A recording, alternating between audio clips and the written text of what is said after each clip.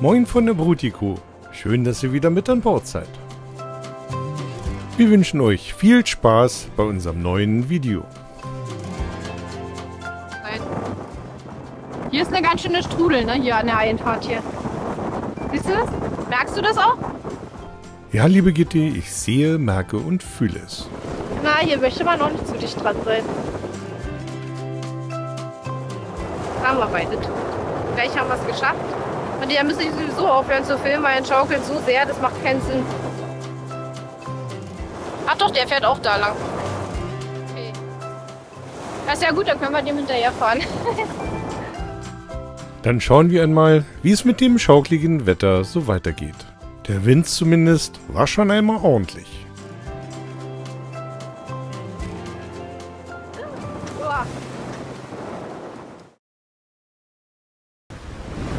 Schaukelig. Es geht wieder los. Ja.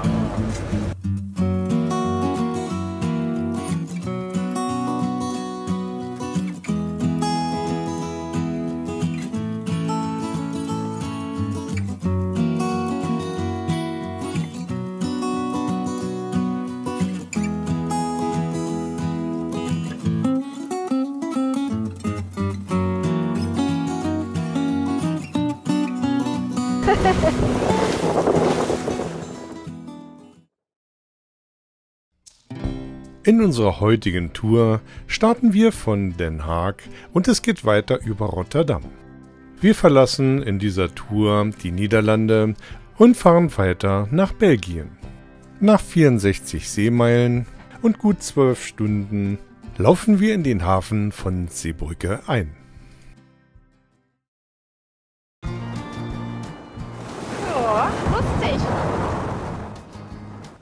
Die ganze Fahrt über hatten wir mit starkem Wind zu kämpfen. Und dazu, wie sollte es auch anders sein, war unser Kurs hart am Wind. Der killenden Achterlieg an der Fock bereitete Gitti schnell ein Ende. Sehr schön. Anschließend veränderten wir noch den Hohlepunkt und dann war die Fock wieder voll da.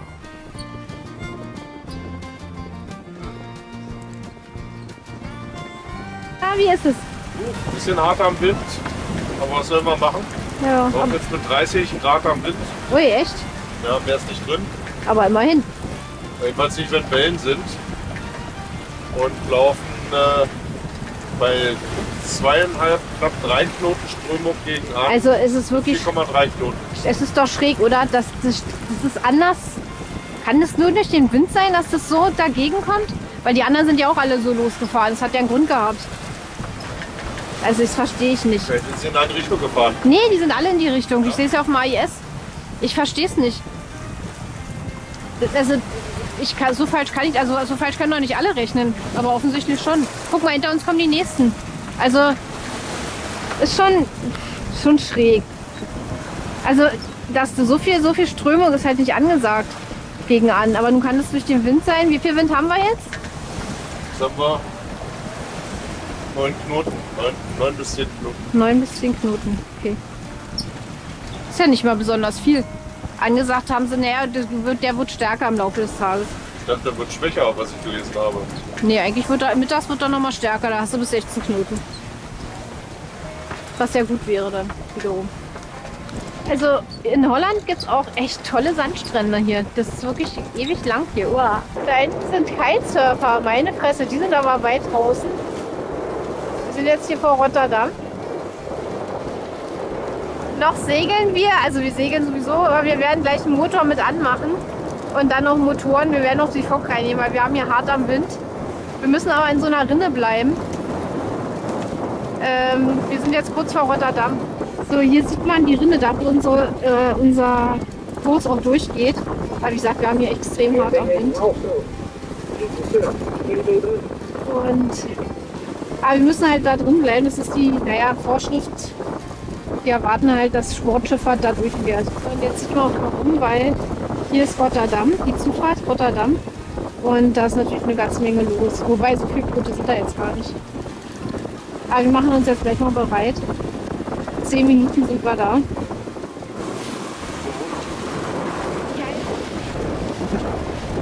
Wow, haben wir eine Geschwindigkeit. Hier sieht man schon Rotterdam, Hafen. Gleich sind wir an der Rinne. Vorschriftsmäßig, wie gesagt, den Kegel gesetzt. So, hier ist die Anfahrt. Man sieht schon ein paar Pötte, ein paar große. Der segelt noch ein bisschen hier. Der vor uns hat auch schon seine Kopf reingeholt, hat seinen Kegel auch gesetzt. Also das machen die hier schon, ne? Die achten da schon drauf.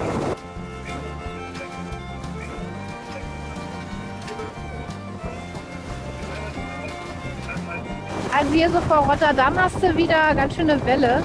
Vorhin war so eigentlich ganz moderat. Aber hier baut sich das wieder auf.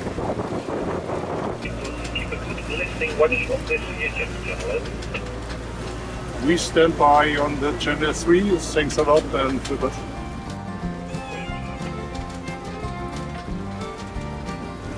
Braver Junge.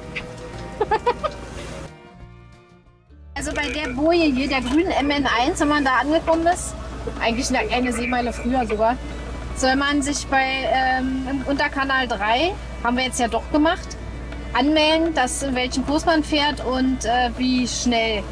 Und dann fragen, ob man durch kann. Und der hat uns gleich durchgelassen. Wir haben es ja auch gesehen, da kommt nichts. Aber mein Gott, ist halt sicherer und ich meine, so steht es auch im Reads. In einer anderen Auflösung, also da, wo wir jetzt gerade sind, ist diese Boje und hier ist diese Einfahrt.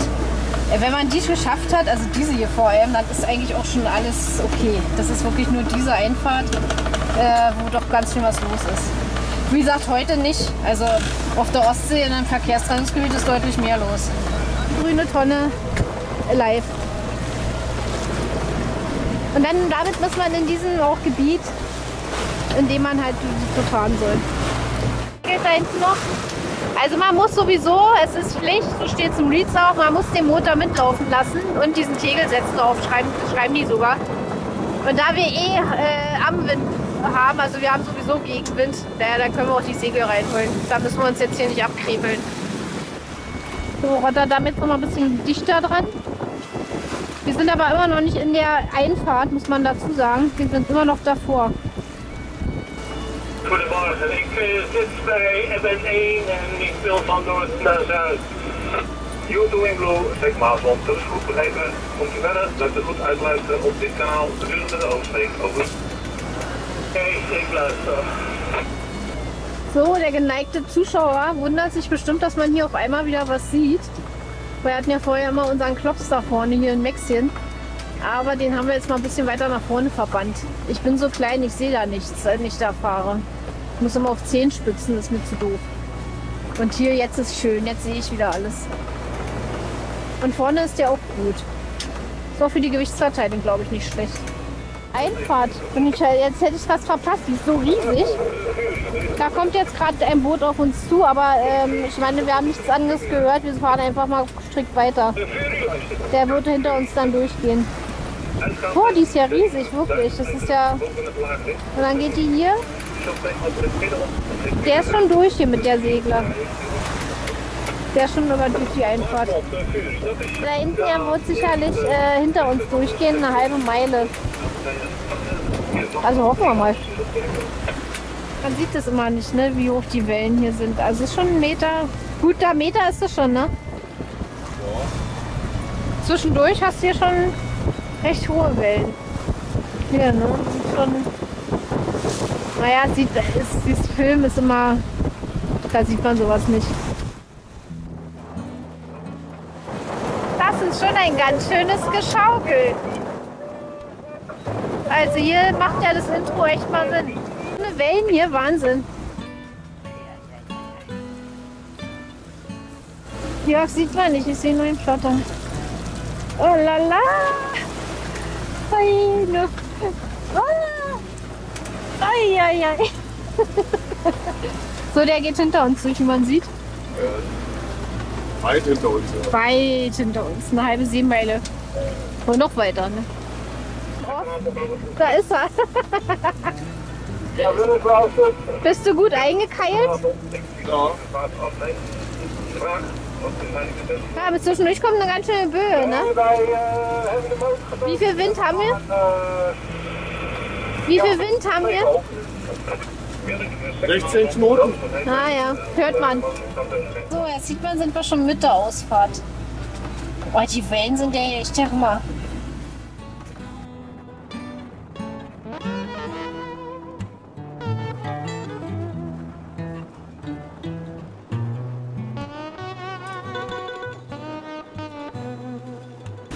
Ups, du bist ja so schief.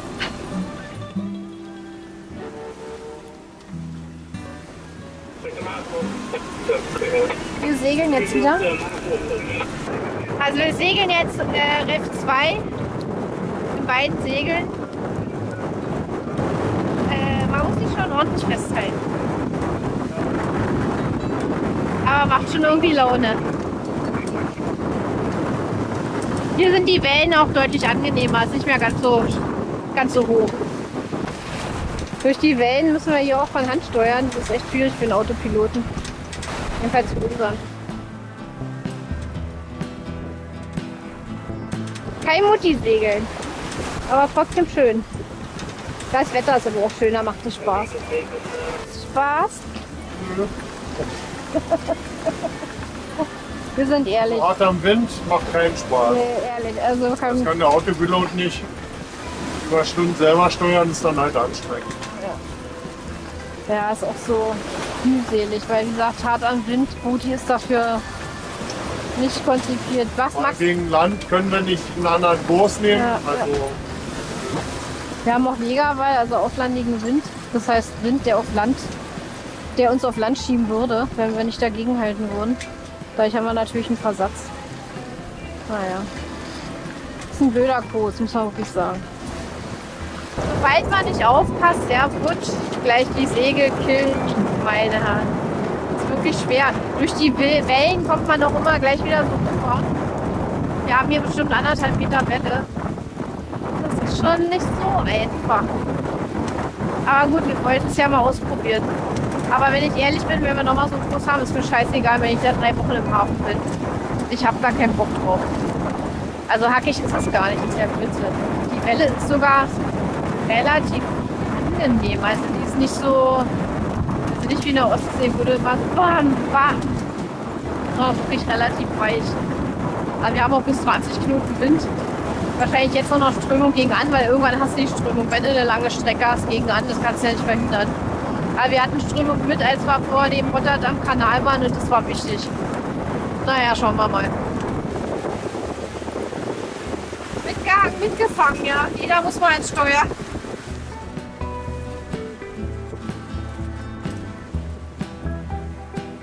Da hinten kann man erahnen, da hinten ist Seebrücke. Es ist jetzt 21 Uhr. Ja, irgendwie haben wir ständig Strömung gegen an, ist unglaublich. Aber jetzt fahren wir endlich mal 6, 7 Knoten. Jetzt macht das Segeln auch Spaß. Also vorhin war es echt, naja, zum Abgewöhnen. Aber jetzt ist schön, also kaum Welle. Also und der Kurs ist gut. Also die Welle war ja nicht das Schlimme, sondern einfach dieser blöde Kurs. Also 30 Grad sind für uns echt furchtbar. Insofern jetzt ist richtig schön. Jetzt haben wir 60 Grad am Wind. Oh, das ist gemütlich. Ja, hier sieht man schon eine ganze Menge Frachter auch in Seebrücke. Und Hier gibt es einen großen Erdgas-Terminal, LNG. Da muss man vorher auch anfunken, ob man dann in den Hafen darf. Ich hoffe mal nicht, dass die jetzt sagen, nö, wir warten mal noch eine Stunde. Aber manchmal wird der gesperrt, wenn gerade große Schiffe irgendwie da manövrieren. Verfolgt uns hier der Fischer. Wahrscheinlich sind wir in seinem Fanggebiet. Der hat aber ganz schön Speed drauf. warte. Ganz schön Speed. Das wären lustige Aufnahmen, Schnuppel. Immer so ging, hoch, hoch, runter. Sailing at Brody.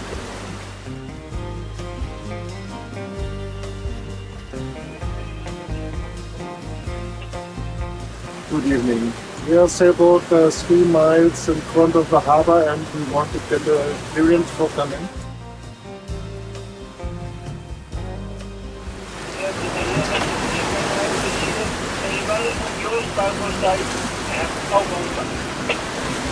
Andershalb. Was hat er gesagt?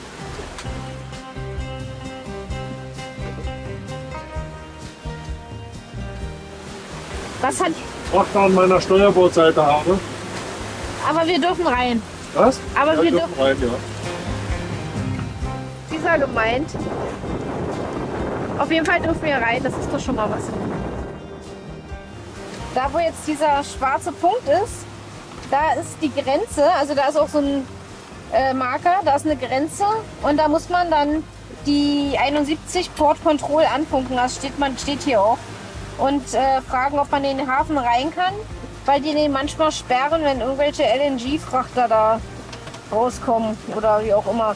Er hat uns jetzt nur gesagt, äh, wir haben, müssen aufpassen, wir können rein, wir müssen nur aufpassen, an unserer Steuerbordseite ist ein großer Frachter. Den haben wir aber auch gesehen. Jetzt wird es wieder amtlich. Gitti holt die niederländische Flagge ein und setzt dafür die belgische.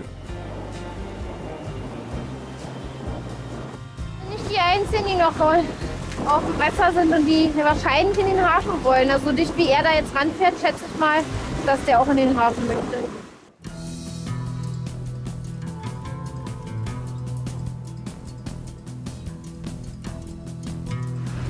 So. Anfahrt Blank, äh, Quatsch, Blankenberge, äh, Seebrücke. Gerade gesagt, der andere Segler ist wahrscheinlich auf dem Weg nach Blankenberge, weil der weiterfährt. Hier hat man schon die Ampeln. Sieht man offensichtlich, dass man reinfahren darf. Und ist dolle Strömung, ja, ne? Segler, der segelt weiter. Ein Stückchen weiter, es ist nicht so weit, ist Blankenberge. Ich glaube, da hinten man es auch schon. Gehört haben wir die belgische Fahne in Aufarbeitung unserer ganzen Kräfte gehisst.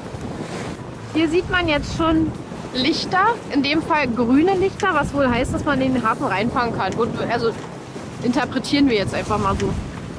Wir haben ja eh das Okay bekommen. Hier für ganz Blinde haben sie es wirklich gut gemacht, ne? Mit LED, also ganz modern. Hier die rote Tonne für die Einfahrt. Und ein bisschen weiter drüben, also ein bisschen weiter drüben ist gut. Ein ordentliches Stück weiter drüben ist dann die grüne. Auch in LED. Wow. Seebrücke bei Nacht eigentlich. Wir haben 22 Uhr inzwischen. 21.45 da haben wir auch die Segel eingeholt, mehr oder weniger. Das können wir auch merken, wir einfahren. Und wir lassen auch 71 als Funk an, Ja, zo rond de 20 uur gaan de falls wir nochmal irgendwie angesprochen werden. Das Rote sieht vielleicht toll aus, richtig schön prägnant. Man hätte jetzt auch nach Blankenberge fahren können, nur da ist es so, dass die Zufahrt oft, also sollte man nicht bei Niedrigwasser hin, weil die Zufahrt wohl oft versandet und wir hätten jetzt Niedrigwasser. Also hat sich die Sache, hätte sich die Frage für uns im Grund gestellt mit unseren zwei Metern Tiefgang. Oh, jetzt kommen noch welche raus hier. Aber wir sind ja schon eine Einfahrt und ganz rechts. Na, es schaukelt hier auch noch ganz schön vor der Einfahrt. Das muss man mal so sagen. Was man hier jetzt gut sieht, dass Jörg gerade den Kurs ändert, was auch gut ist, sonst würden wir nicht gegen die Wand fahren. Mit der Ampel, ne? Zwei grüne und ein gelbes, also man kann reinfahren. Vorhin war unten sogar noch rot. Also ich von ganz weit weg gesehen.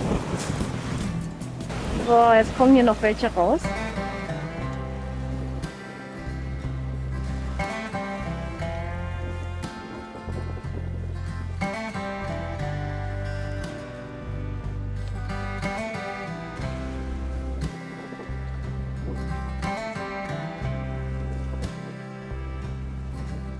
Ganz schön laut. Sieht man hier die Hafenanlage? Es ist wirklich enorm groß hier. Und man braucht wohl von da bis zum Hafen tatsächlich auch noch eine halbe Stunde. Nicht zu übersehen.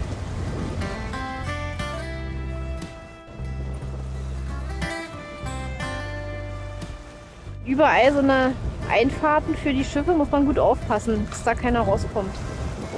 Würde ich nicht sagen, aber sie sieht von vorne irgendwie sympathisch aus, ne? weil die so ein rundes Maul hat. Süß. Heißt Pauline, Alter. Pauline, ach sehr süß. Hallo Pauline. Die ganzen Kräne. Kannst du schon gerade zu sagen. Ja. Sehr gut beleuchtet. Das ist dann Die Tonne. Die ist aber gut beleuchtet. Und hier muss man aufpassen, nicht zu dicht ran. Da ist, nämlich, ist es nämlich recht flach. Sollte man wissen. Oder halt die, die Karten gut lesen. Ja, ist sehr großzügig hier. Also hier kannst du tatsächlich eigentlich reinsegeln, ne? Hier könntest du sogar reinsegeln. Ich weiß gar nicht, ob das erlaubt ist.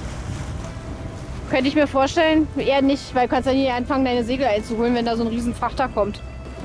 Dann scheint da hinten irgendwo... Upsala. Nochmal um die Ecke. Das war hier, wo ich meinte mit dem Flach. Und jetzt fahren wir hier so rein. Und hier, ist, hier hinten ist der Hafen. Ganz schön verwirrend. Hier sind so viele Eingänge. Aber wir müssen da lang. In die Richtung. Richtig, äh, äh, Richtung äh, Container. Ich habe gerade einen Lob bekommen.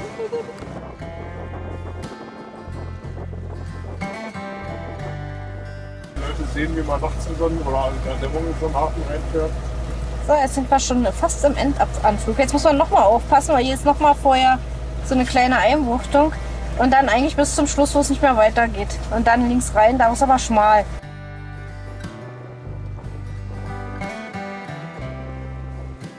Hier hat man jetzt die Auswahl von drei, äh, drei Marinas, wenn du so willst.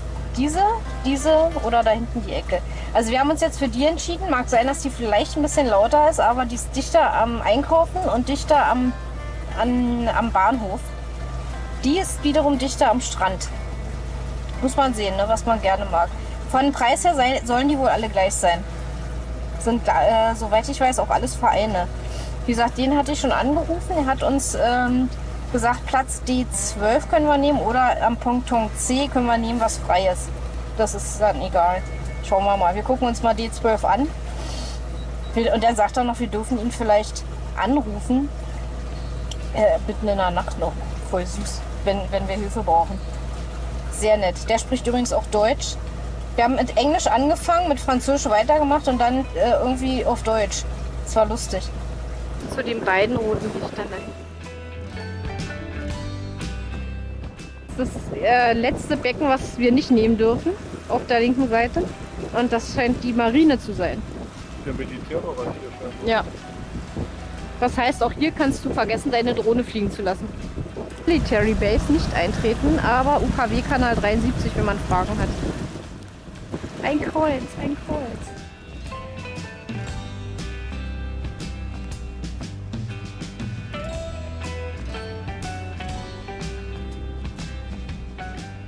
Ach so, weißt du was? Das Interessante ist, geradezu, das ist eine Schleuse.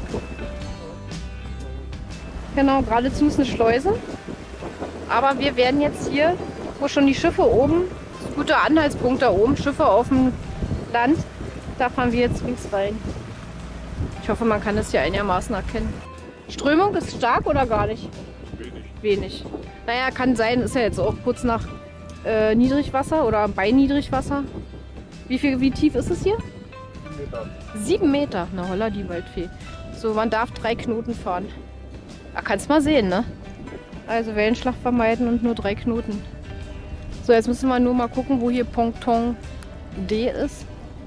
Aber es ist wirklich sehr großzügig hier, muss man tatsächlich sagen. Jetzt fährt Jörg extra langsam. Fährst du drei Knoten? Extra. Extra langsam ist gut. Fährst, nee, ich sag gerade, du fährst extra langsam. Nee, das sind tatsächlich drei Knoten. Naja, dadurch, dass wir so, so zum Teil relativ zügig unterwegs waren, äh, vom- hat man das Gefühl, man steht. Das ist wie auf der Autobahn. Ne? Wenn du von der Autobahn kommst mit dem Auto und dann 50 fährst, dann denkst du auch, du stehst. Ich würde mit der gerne mal 50 fahren. Nach 64 Seemeilen und gut 12 Stunden machen wir in dem Hafen von Seebrücke fest. Jetzt 32. ein Sturm hier im Hafen. Wir haben über 30, 33 Knoten. Jetzt haben wir, glaube ich, 35 Knoten. Und da hinten sieht es ja nicht viel besser aus. Wow. Hier scheppert aber ordentlich. Gut, dass wir im Hafen sind, muss ich wirklich sagen.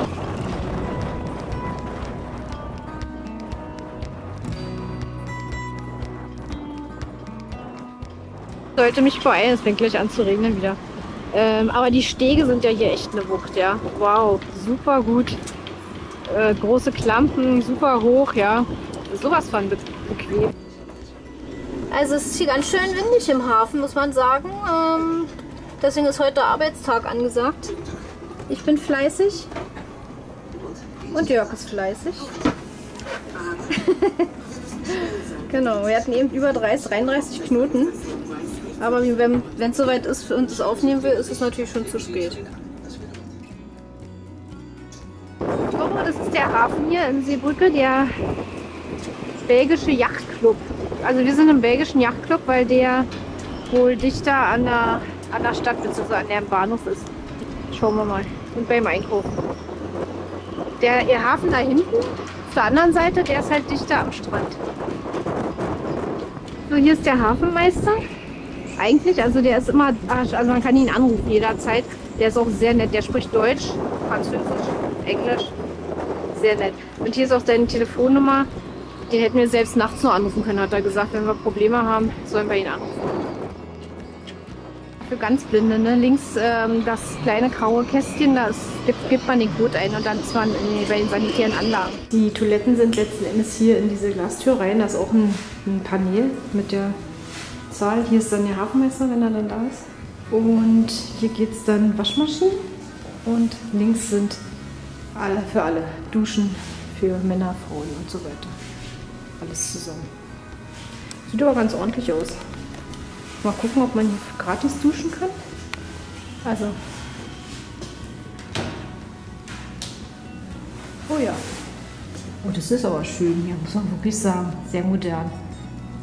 Hier sind Waschmaschine und Trockner und richtig groß diesmal. Also, die kann man ja doch einiges reinschmeißen. Mal gucken, ob wir hier waschen. Restaurant und darunter sind die ganzen Möglichkeiten. Also rechts ist, da kann man seine Fahrräder abstellen, auch schön. Und dann in der Mitte ist Müll. Und hier ist der Royal belgische Yachtclub. Aber da Jörg ja nicht so auf Königshäuser steht, dachte ich, vergessen, nehmen wir den nicht ein. Wir haben aber hier ist auch eine tolle Anlage und wie man sieht, ja, wir haben Anfang Juni. Ist echt alles frei. Unglaublich. Schwesterschiff. Und man sieht, wenn es nicht so stark beladen ist, kein Heckträger, nichts hat, dann liegt der Wasserpass, also hier beziehungsweise das liegt das Heck nicht so weit unten. Gut. Wir sind hier eine Langfahrtjacht. Wir liegen jetzt doch an Steg C, nicht den Platz, den er uns erst gesagt hat, D12, weil ich das falsch gerichtet habe. Ich dachte, das wäre an der Leiter. An der Leiter, der wäre sogar vorne gewesen. Aber ich muss sagen, es ist gut, dass wir hier reingefahren sind, weil vorne ist es auch ganz schön unruhig. Man sieht ja da hinten, wie das Wasser reinströmt.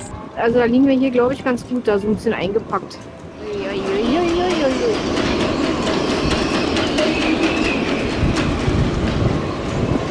Was an dieser Steganlage auch irre ist, also richtig toll, ist hier zum Beispiel jeder Platz hat seinen eigenen Wasseranschluss und seinen eigenen Stromanschluss. Und dann hat man dann QR-Code und dann kann man über eine App bezahlen. Das habe ich diesmal auch gemacht, weil der Hafenmeister eben nicht da war. Wie man sieht, haben wir gerade Hochwasser, weil die Leiter ist ganz gerade. Heute Morgen war sie ganz steil nach oben. So, und das ist nun der dritte Hafen im Bunde. Auch tolle Stege. Wie es uns weiter in Seebrücke ergeht, könnt ihr nachfolgend in ein paar Szenen aus unserem nächsten Video sehen. Wenn euch unser Video gefallen hat, freuen wir uns als Lohn für unsere Arbeit über einen Kommentar, ein Abo oder einen Daumen nach oben. Wir würden uns freuen, wenn ihr bei unserem nächsten Video wieder mit an Bord seid. Verwins von der Bruti Jörg und Gitti. Wir fahren heute nach Brügge. Und ich habe mich jetzt für die Bahn entschieden, wenn man da nicht umsteigen muss.